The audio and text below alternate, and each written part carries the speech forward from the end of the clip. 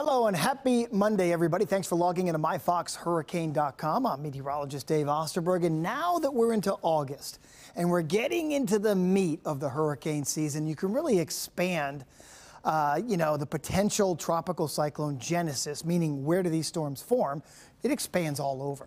Western Atlantic, of course, the Gulf, Western Caribbean, now the Eastern Caribbean, and we're starting to get the beginning of that Cape Verde season when you're getting those waves rolling off the coast of Africa, and some of those do, of course, develop. So if you look at the enhanced satellite on this Monday, quiet in the Gulf, Western Atlantic, not a peep.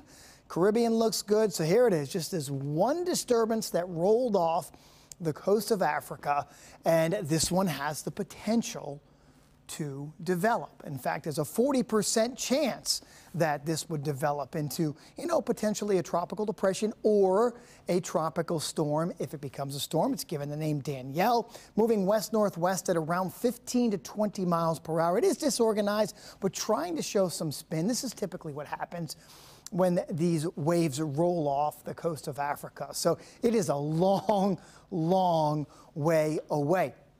And this is going to struggle, even if it becomes a tropical depression or a tropical storm and gets the name, it's going to have to fight all of this dust, the Saharan air layer. We call it the SAL. Okay, and watch as that continues to move westward, so is this wave, and it's trying to fight it. The problem is it can't. Okay, so if this comes into direct interaction with the Saharan air layer, forget it. It would probably just fall apart. If it can go a little bit farther south and stay away from it, then maybe it has the chance to develop. This is what happens when they're thousands of miles away. Just the smallest little tiny interference can change either the path or if it does or does not develop. But at least through Friday, the GFS model saying, okay, we think it could develop into something.